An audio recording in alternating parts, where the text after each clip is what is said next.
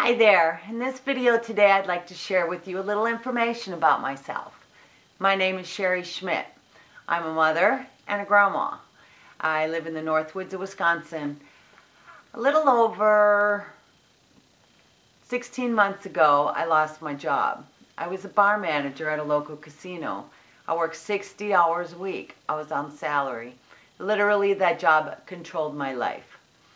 I went into work one day and was called into the manager's office and he let me go.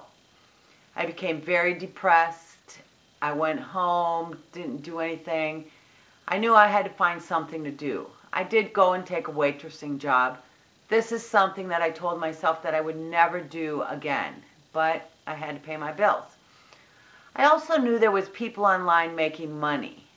So I started looking around I joined a whole bunch of different opportunities, spent a lot of money on products that I didn't use, that I didn't even know how to use.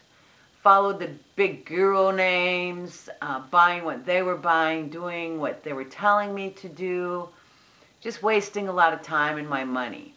One day I came across this website that looked really interesting and caught my attention. So I immediately logged in, joined, the next day, my phone rang and I answered it, and it was somebody from that site, a real person. Couldn't believe it.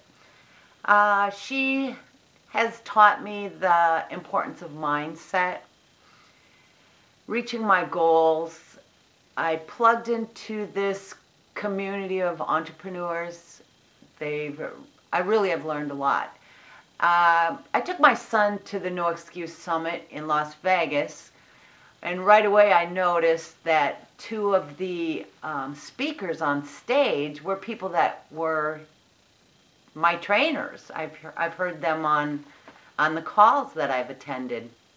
I couldn't believe it.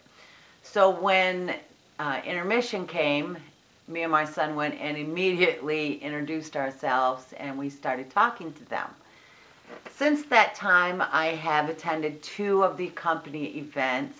I have learned the importance of masterminding with these big internet marketers. I've learned that they're just real people, just like myself, except they have money. They're rich. and that's, you know, the importance of, of this business.